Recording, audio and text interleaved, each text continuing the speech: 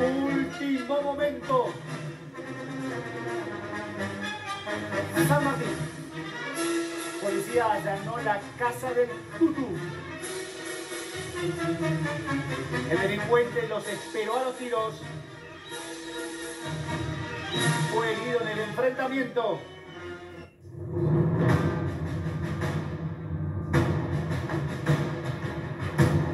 María Elena.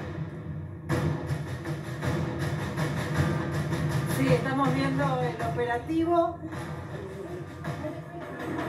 en el momento que la policía allanó la casa de este delincuente. ¿Cómo?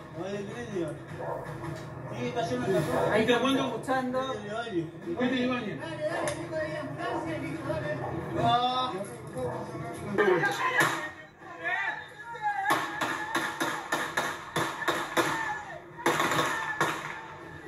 Bien. Escuchan el enfrentamiento, ¿no?